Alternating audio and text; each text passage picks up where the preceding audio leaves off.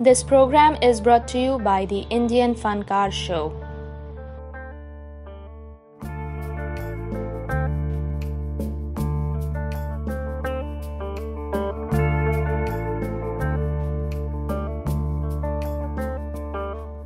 सबसे पहले the Indian Fankar show का मैं शुक्रिया अदा करना चाहूँगा इस अपॉर्चुनिटी को मुझे देने के लिए मेरा नाम है रितेश ठाकरे और आज मैं यहाँ आपको एक कहानी सुनाने आया हूँ जी हाँ कहानी शुरू होती है एक सपने से। जी हाँ एक सपने में और ये सपना एक छोटी सी, प्यारी सी, नन्ही सी छः साल की एक बच्ची का।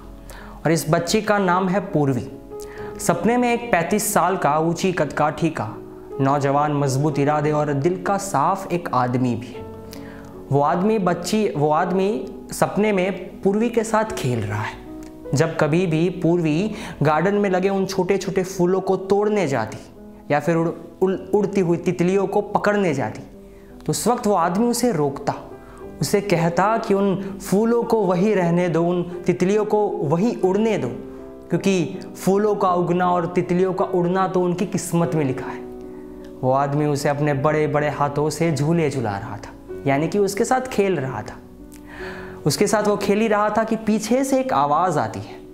चलो बेटा बहुत हो गया अब खाना खा लेते हैं, रात भी हो चुकी है तो अब सो जाते हैं। यह आवाज़ किसी और की नहीं, ये आवाज़ थी पूर्वी की माँ की, जिनका नाम था रेखा। पूर्वी अब धीरे धीरे उस ऊँची कदखाटी वाले आदमी का हाथ छोड़ते हुए अपनी माँ की ओर बढ़ रही थी। अपनी माँ का हाथ थाम कर रेखा का हाथ थाम कर अपनी घर की ओर बढ़ रही थी।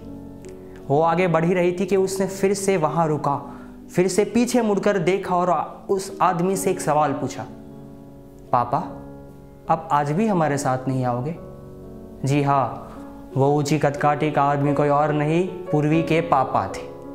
ये सपना इसी सवाल के साथ यहाँ ख़त्म होता है। सुबह होती है और पूर्वी उठ जाती है। सुबह का नाश्ता करते वक्त डाइनिंग टेबल पे जब रेखा के साथ पूर्वी बैठी हुई होती है, तब उस सपने के बारे में पूर्वी रेखा को बताती है।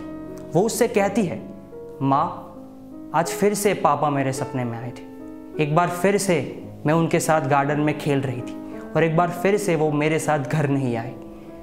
पापा ना हकीकत में मेरे साथ घर पे आते हैं, ना सपने में। पापा ऐसा क्यों करते हैं माँ? पापा कहाँ है? पापा कब आएँगे?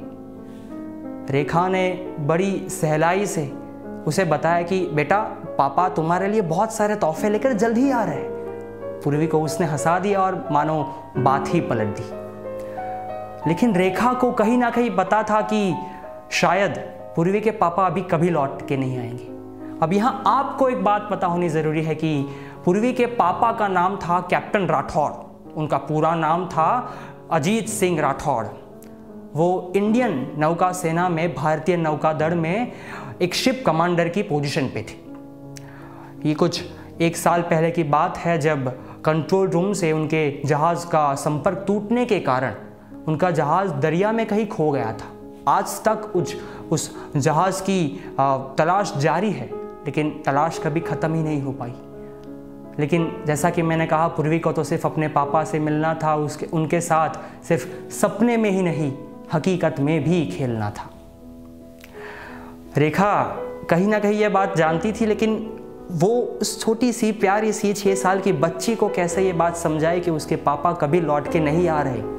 ये बात उसे खुद ही समझ नहीं आ रही थी।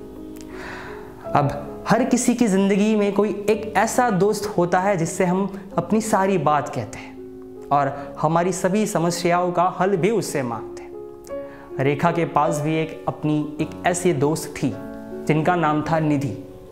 और उस दिन निधि ने ऑफ़िस में रेखा से मौका देखकर यह बात कह दी कि उसने इस समस्या का हल ढूंढ लिया है। निधि ने रेखा से कहा कि मेरा एक दोस्त है, जो एस्ट्रोलॉजर है, यानी कि ज्योतिषी। और मैंने पूर्वी के सपनों के बारे में उनसे बात की है, और उन्होंने तुम्हें एक काम करने को कहा आज रात तुम्हें अपने पति की, यानी कि कैप्टन राठौर की तस्वीर को अपने बेडरूम में लगाकर सिर्फ़ सो जाना है।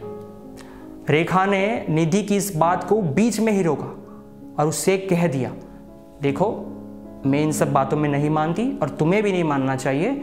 ये सिर्फ़ पूर्वी के मन का वहम है, मैं उनसे बात करूँगी, ये सब ठीक हो जाएगा। अब अब रेखा ठहरी मॉडर्न ख्यालातों वाली तो उसने निधि की बात को वही जाने दिया। अब रात होती है, पूर्वी और रेखा ने घर पे खाना खा लिया है और अब अब रेखा ने पूर्वी को लोरी सुना के सुला भी दिया है। लेकिन अभी भी रेखा के मन में वही ख्याल आ रहे हैं। निधि की वही बातें उसके मन में, मानो घूम रही है। और आखिर में रेखा के मॉडर्न ख्यालात माँ की ममता के सामने हार जाते हैं। और फिर सोचिए उसने क्या किया होगा? जी वही उसने कैप्टन राठौड़ की तस्वीर को लिविंग रूम से निकाल के अपने बेडरूम में रखा।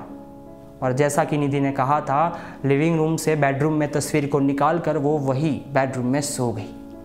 एक बार फिर से कैप्टन राठौड़ गार्डन में होते छोटी सी बच्ची, यानी कि पूर्वी के साथ खेल रहे होते हैं। एक बार फिर से पीछे से आवाज़ आती है। चलो बेटा, बहुत हुआ, खाना खा लो, अब सो जाओ। जी हाँ वो रेखा ही होती है। लेकिन इस बार कैप्टन राठौड़ खुद पूर्वी का हाथ रेखा के हाथों में थमाते नीचे बैठते हैं और पूर्वी से एक छोटी सी बात कहते हैं। वो कहते हैं, बेटा, तुम मेरी चिंता मत करना। तुम मुझे याद भी मत करना, क्योंकि याद तो उन्हें किया जाता है जो दूर होते हैं। अपने तो हमेशा हमारे साथ ही रहते हैं। वो फिर खड़े होते हैं, रेखा से भी एक बात कहते हैं कि तुम भी मुझे याद मत करना और पूर्वी का ख्याल रखना। मैं यही हूँ, आप लोगों के साथ ही हूँ। जी हाँ इसी बात के साथ रेखा का सपना यहीं पे ख़त्म होता है। जी हाँ आपने सही सुना, ये सपना इस बार पूर्वी का नहीं ये सपना इस बार था रेखा का, यानी कि पूर्वी की माँ का। ये सपना यही ख़त्म होता है, सुबह होती है और रेखा अपने कमरे से बाहर निकलती है। जैसे ही वो अपने कमरे से बाहर निकलती है, छोटी सी पूर्वी अपनी होठों पे बड़ी सी मुस्कान लेके उसे गले लगा लेती है। यह लम्हा जब वहाँ होता है, उस कमरे का दरवाज़ा और खिड़कियाँ उस वक्त खुली होती है। हल्का सा एक हवा का झोंका आता है और वो खुला दरवाज़ा अपने आप बंद होता है। अब आप सोच रहे होंगे कि ये कहानी मैं आपको क्यों सुना रहा हूँ? जनाब, इसका एक सीधा सा मतलब है कि ये कहानी में हमारे सोल्जर्स हमारे जवानों को अर्पित करना चाहता हूँ।